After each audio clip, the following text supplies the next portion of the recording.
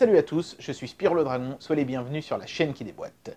Aujourd'hui, on va tester le dernier téléphone entrée de gamme de chez Xiaomi, le Xiaomi Redmi Note 6 Pro. C'est un smartphone qui coûte dans les 150 euros et ce sera le premier smartphone que je testerai sur ma chaîne équipé de la fameuse encoche sur l'écran. J'ai vraiment très hâte de voir ce que ça donne, alors c'est parti pour le test. Bien, alors avant toute chose, une chose est certaine, on verra l'emballage du Redmi Note 6 Pro de loin, puisque Xiaomi a encore utilisé une fois de plus cette couleur qui leur est chère, à savoir le orange vif.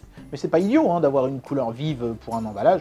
S'il est au milieu d'autres emballages sur une étagère, c'est clairement vers celui-ci que votre œil sera attiré le plus. On avait déjà plus ou moins le même genre d'emballage d'ailleurs sur le Redmi Note 5 Pro, le Redmi Note 6 Pro n'évolue pas tant que ça en termes de hardware d'ailleurs. Hein. Je crois qu'il a le même processeur interne que sur le Note 5 Pro, si je ne dis pas de bêtises. Mais par contre, euh, il a évolué au niveau de l'écran notamment. Euh, donc, chose importante à noter sur le côté de l'emballage, c'est ce petit autocollant Global Version qui signifie que vous avez la version avec le Play Store et la langue française et toutes les autres langues européennes d'ailleurs de préinstaller. Ce n'est pas le cas sur les versions chinoises. Euh, donc faites bien attention à ça au moment d'acheter le téléphone. Le lien que je vous mets dans la description de la vidéo vous emmènera bien entendu vers le, smartphone en version globale. Hein. On est sur quelque chose qui a 3 Go de RAM et 32 Go de stockage, mais Xiaomi propose plusieurs configurations à ce niveau-là. Vous avez des smartphones qui auront 4 Go de RAM et 64 Go de stockage, par exemple. Là aussi, il faudra faire attention au moment de l'achat. Les principales évolutions sur ce téléphone, ça va être notamment l'écran, euh, qui fait désormais 6 pouces 26, mais qui surtout a laissé tomber les bordures à la Samsung pour accueillir euh, une encoche à la, j'allais dire iPhone 10, mais techniquement c'est euh, l'essentiel phone, je crois, qui a eu l'idée le premier de mettre une encoche. Une idée d'ailleurs à laquelle j'adhère pas vraiment. Pour moi, tout ce qui empiète sur un écran est forcément une absurdité. Un écran, normalement, il doit être intégral, et puis c'est tout. Enfin bon, on va voir comment Xiaomi a décidé de gérer ça. Rien de bien extravagant pour l'unboxing de ce téléphone, hein. on soulève le couvercle et le bas de la boîte coulisse attiré irrémédiablement et irrésistiblement par la gravité terrestre, n'est-ce pas? Voilà. On tombe directement sur le téléphone, qui n'est pas dans un sachet plastique ni rien, qui est simplement protégé par une petite affichette ici à l'arrière et un grand film écran sur le devant avec les différentes caractéristiques techniques. Voilà. Euh, à l'intérieur euh, de cette petite cale de carton, il y a un certain nombre de choses, si j'arrive à la défaire. Voilà. Hein, dans l'épaisseur, on peut voir ici le petit machin pour le tiroir SIM. Une coque de protection, ça c'est toujours agréable, surtout sur des modèles entrée de gamme comme ça, qu'il y ait une petite coque de fourni. En plus, elle est de belle qualité, elle est agréable au toucher, ça c'est plutôt sympa. Et un petit peu de doc en anglais, euh, rien de vraiment extraordinaire, mais essentiellement des mentions légales. Hein. Euh, rien que de bien folichon là-dedans. À l'intérieur de la boîte, on trouve évidemment aussi le chargeur secteur, qui est un chargeur de 2 ampères, tout à fait classique, mais au format européen. Preuve une fois de plus qu'on est sur le modèle global du smartphone. Ainsi qu'un câble de recharge qui est en micro USB. C'est un petit peu regrettable d'ailleurs que Xiaomi n'ait pas eu la courtoisie de nous mettre euh, de l'USB type C. Mais ça, je pense qu'ils en font un petit peu exprès pour bien appuyer sur le fait qu'on est sur un modèle entrée de gamme. C'est un petit peu mesquin de leur part, je trouve. Bien, alors faisons un rapide tour de propriétaire du smartphone. C'est amusant, hein, ils n'ont pas euh, mis euh, le film de protection euh, sur l'encoche, comme si elle était sacrée, je ne sais pas. En tout cas, il y a une petite languette ici pour défaire ce film-là, voilà, qui est vraiment uniquement là pour protéger pendant le transport. Hein. Vous ne pouvez pas vous en servir, vu qu'il y a des écritures dessus. Donc l'écran est vraiment très beau. On devine déjà hein, l'encoche ici, qui a l'air quand même d'être assez large. Euh, il y a également un menton dans le bas, c'est un petit peu dommage, quitte à mettre une encoche, autant que ce soit pour faire un modèle qui soit borderless dans le bas, je trouve personnellement. Sinon, autant mettre les capteurs dans le bas. Mais voilà, il faut quand même pas oublier qu'on est sur un modèle entrée de gamme à 150 balles, donc forcément il va y avoir ce genre de petites contrariétés. Sur le côté, rien d'extravagant, le bouton volume et power. Sur le dessous, on peut voir qu'il y a deux grilles, donc une évidemment pour le micro, une pour le haut-parleur et une pour la fameuse prise micro USB, pas d'USB type C, une fois de plus, je le répète, c'est quand même dommage. C'est apparemment quelque chose que Xiaomi a décidé de faire, hein, mettre du micro USB sur l'entrée de gamme et réserver l'USB type C au, matos haut de gamme. Bon, pourquoi pas, même si je trouve ça un petit peu abusé. Je me demande si ça leur coûte pas limite plus cher à eux de, faire comme ça, mais bref. Euh, voilà, ici à l'arrière, on peut voir le capteur d'empreinte et donc le double appareil photo avec LED flash qui permet euh, notamment de faire des effets euh, portraits avec floutage qui, paraît-il, sur ce modèle-là, sont très réussis compte tenu de son petit prix. Je suis assez curieux de voir ça. Sur le dessus, on peut voir la prise jack qui est toujours présente, merci Xiaomi, le micro pour l'annulation des bruits ambiants et surtout ici un petit blaster infrarouge qui fait de ce téléphone une petite télécommande universelle, ce qui peut s'avérer, ma foi, fort sympathique. Sur le devant, bien sûr, on a les sempiternels capteurs de proximité de luminosité et euh, un haut-parleur qui est tout petit d'ailleurs, mais vous n'aurez pas de système à la euh, Face ID. Hein. C'est vraiment avec le, le système d'empreinte derrière ici que vous déverrouillerez votre téléphone. Au premier démarrage, on reconnaît immédiatement l'interface MIUI du fabricant qui est un petit peu à mi-chemin entre iOS et Android. Euh, notamment euh, le fait de pouvoir mettre des widgets sur l'écran d'accueil, ça c'est du Android. Le tiroir d'application aussi ressemble à celui d'Android. Euh, par contre, le, lanceur d'application, lui, est vraiment totalement inspiré d'iOS, avec notamment l'absence de, tiroir d'application et puis ces icônes carrés à coins arrondis qui sont vraiment d'inspiration appleienne. Hein. on retrouve même des gestes d'ailleurs hein, de chez Apple, comme par exemple, si je lance une appli, pour revenir ensuite à l'accueil, il faut que je fasse un slide comme ça vers le haut. Et puis si je fais un slide et que je laisse mon doigt sur l'écran, ça fait apparaître le multitâche. Tout ça, c'est des choses qui ont été empruntées également à iOS. Mais on est sur un smartphone qui est super fluide. Euh, l'encoche, évidemment, permet l'affichage de l'heure ici à gauche et des différentes icônes système à droite. C'est plutôt bien intégré à l'ensemble. Le, téléphone ne manque pas d'une certaine élégance. Donc, euh, ma foi, euh, comme ça, les premières impressions sont vraiment excellentes. Sont, sont celles d'un smartphone premium en dépit du petit prix. C'est plutôt rassurant pour la suite. Les résultats du benchmark nous confirment qu'on est bien sur un smartphone entrée de gamme puisque euh, les valeurs indiquées en single et en multicore sont euh, grosso merdo celles qu'on aurait sur un Samsung Galaxy S7, donc un téléphone qui a déjà quand même quelques années. Mais euh, à 150 euros, on n'est franchement pas volé. Hein. Le Galaxy S7 reste encore aujourd'hui un excellentissime smartphone qui fait à peu près tout tourner de manière fluide et correcte. Simplement, évidemment, sur les tout derniers jeux à la mode, vous ne serez pas euh, en full avec tous les détails à fond, mais vous allez voir quand même qu'on s'en sort pas trop mal. Le benchmark batterie nous confirme ce que l'on pouvait déjà penser, hein. avec une batterie de 4000 mAh, ce smartphone a une autonomie tout simplement bluffante. 9h17 minutes en screen on avec l'écran à 70% de sa puissance maximale. C'est juste remarquable. C'est ce qu'on est en droit d'attendre d'une tablette. Et là, on l'a sur un smartphone. Ça fait franchement plaisir. Bien, alors on va faire un test du GPS. J'ai désactivé le Wi-Fi pour qu'il ne puisse pas télécharger euh, les positions satellites. Il va devoir se débrouiller uniquement avec la puce GPS. C'est parti. Toc, ça n'a pris que deux secondes on est face à une très très bonne puce GPS dans ce smartphone. Et petite cerise sur le gâteau, on a même une boussole parfaitement fonctionnelle dans ce smartphone. S'il a aussi un gyroscope, ce pourrait bien être un sans faute. Et en effet, si j'en crois cette application de détection de capteurs, on a bien un gyroscope ici, et si j'appuie dessus, je peux voir qu'il est bel et bien fonctionnel. Vous voyez la courbe ici en bas bouger en fonction des déplacements du téléphone. Donc c'est parfaitement fonctionnel. Ça fait plaisir de voir un téléphone de ce prix-là, avec tous les capteurs qu'on est en droit d'attendre sur un smartphone, en général milieu, voire même haut de gamme. Testons la vélocité du Wi-Fi et ensuite on testera la 4G. C'est parti pour le Wi-Fi. On est manifestement sur une antenne Wi-Fi qui peut plafonner à 150 MB. C'est plutôt bon signe.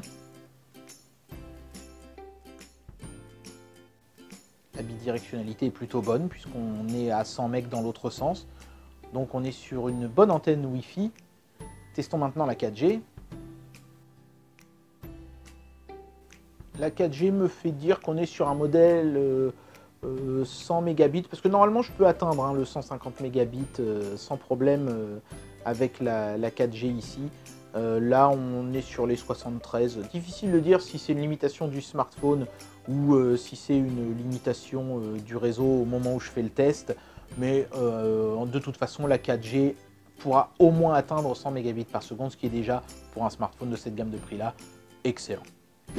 Alors évidemment, filmer un écran ne peut jamais lui rendre justice, mais croyez-moi sur parole, l'écran de ce Redmi Note 6 Pro est absolument superbe. Que ce soit au niveau du rendu des couleurs, que ce soit au niveau de la finesse, que ce soit au niveau de la fluidité, que ce soit au niveau du contraste, c'est vraiment un super bel écran. Il n'y a vraiment pas grand chose à lui reprocher. Euh, que ce soit des photos majoritairement chaudes ou majoritairement froides, il n'y a jamais de déviance ou de quoi que ce soit.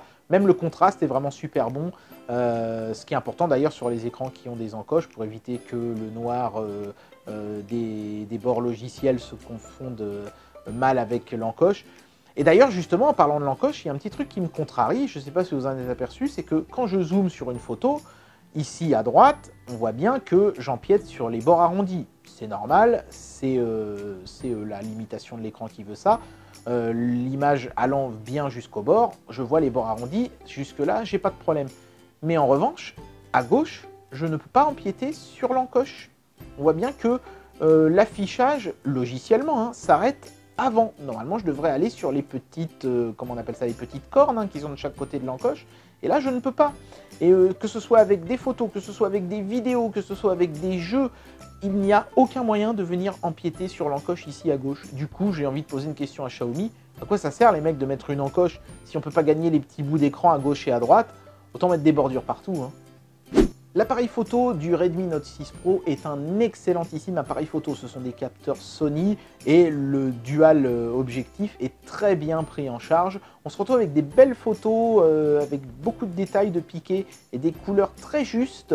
Euh, là, les couleurs ont peut-être l'air un petit peu froides, mais c'est parce qu'on est aux portes de l'hiver. Hein, il commence tout simplement à y avoir moins de soleil dehors.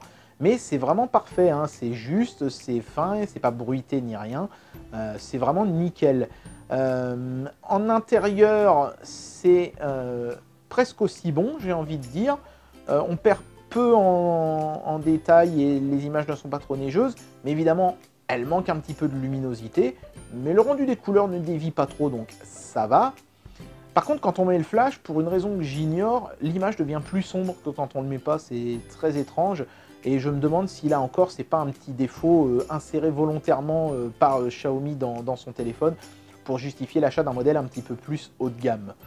Quant au mode portrait avec donc le, double objectif photo, euh, c'est très réussi puisqu'ici on voit bien que la peluche Spiro a un très bon niveau de détail, on peut voir les petits poils de la, fourrure et tout euh, de la peluche qui, sont bien rendus, alors que le fond lui a un petit effet de flou bokeh, on voit bien, regardez la caméra ou le téléviseur là, qui permettent vraiment au, sujet de bien ressortir euh, par rapport au fond. Donc une bonne prise en charge du mode portrait, pour un téléphone dans cette gamme de prix-là, c'est plutôt une bonne surprise par contre. Bien, comme on est sur du Xiaomi, je vais pas faire l'affront à ce téléphone d'essayer de lire de la Full HD. On va directement passer à la 4K. D'abord en 30 fps.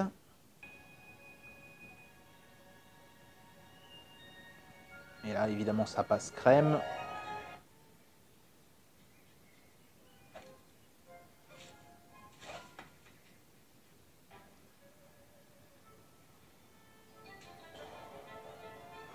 On va tester un peu le son.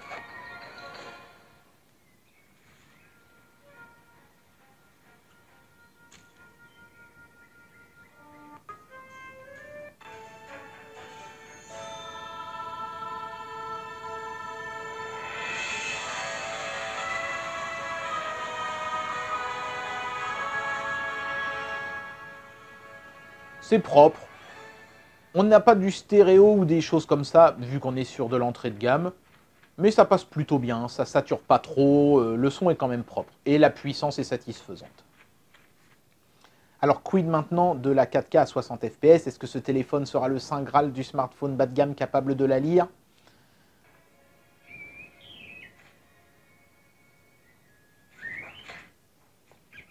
Ça a l'air de passer, mais j'ai fait l'essai, hein, je ne vais pas vous mentir. Voilà, au bout d'un moment, ça frise. Je pense que... Euh, alors peut-être qu'avec le modèle à 4 Go de RAM, ça irait mieux.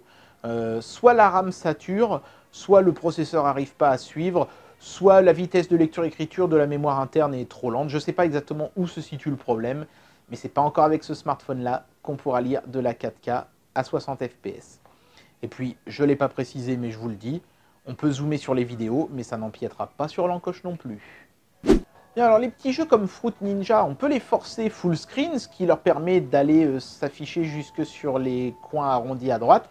Mais une fois de plus, ça ne permet pas au logiciel de venir empiéter sur l'encoche à gauche. Donc là, je suis vraiment déçu par cette euh, prise en charge vraiment feignasse hein, de l'encoche par euh, Xiaomi.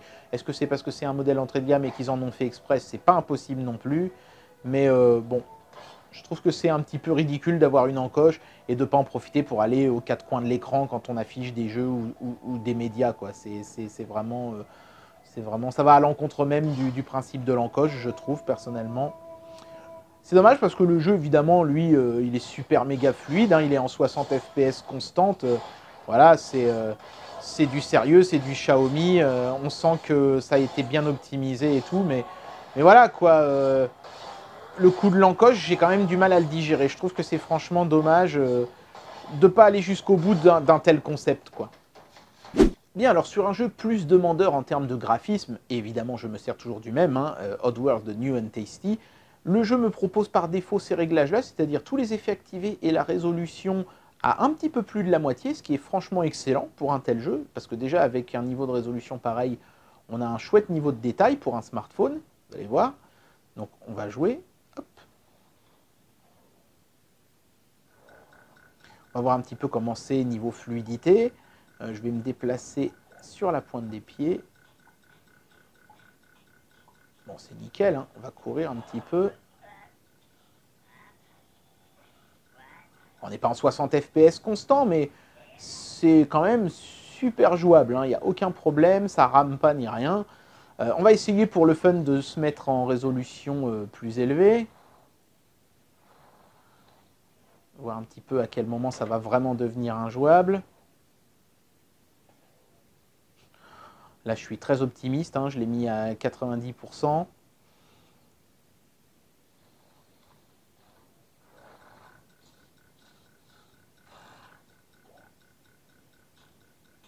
Ouais, ça rame. Ça reste fluide, mais le jeu tourne au ralenti, c'est bizarre.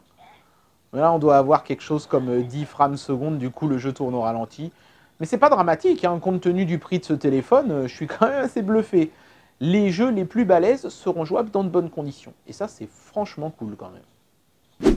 Allez, vous le savez, j'aime bien valider les perfs d'un smartphone avec euh, un petit coup d'émulateur PPSSPP. C'est bien parce que ça fait tourner à la fois le Proco et le GPU. Donc là, euh, le rendu de base proposé par l'émulateur, c'est PSPX2. Et à ce niveau-là, c'est parfaitement fluide et jouable. J'ai presque l'impression d'être sur une, sur, une, sur une vraie PSP, franchement.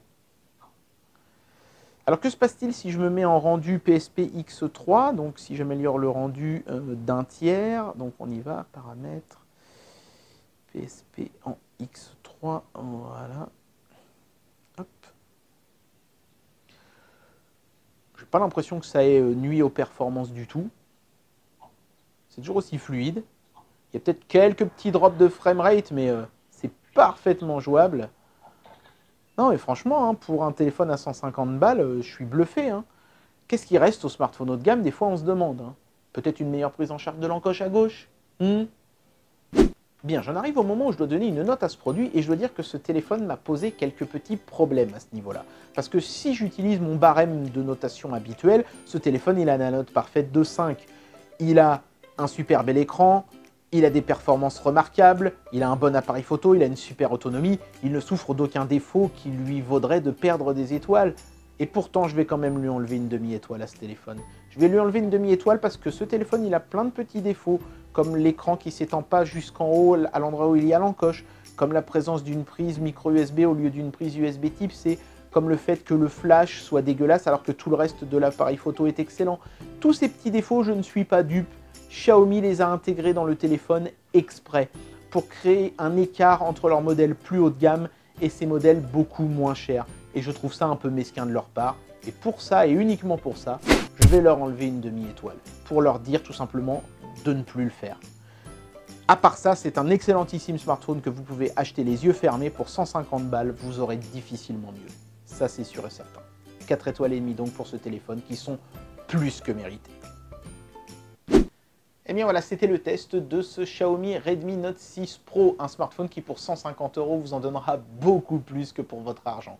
Ah, il y a même parfois des moments où on se demande si Xiaomi fait pas exprès de rouler avec le frein à main serré pour pas aller trop vite et pas se faire lui-même de la concurrence à ses modèles beaucoup plus haut de gamme, tellement ce téléphone est bon. Il n'est pas parfait, c'est sûr qu'il y a des petites choses, des petits problèmes notamment que vous n'aurez pas sur les modèles plus haut de gamme, mais franchement pour 150 euros, vous pouvez foncer tête baissée, c'est un excellentissime smartphone. J'espère que cette vidéo vous aura plu et moi je vous dis à très bientôt pour un prochain test. Allez, tchuss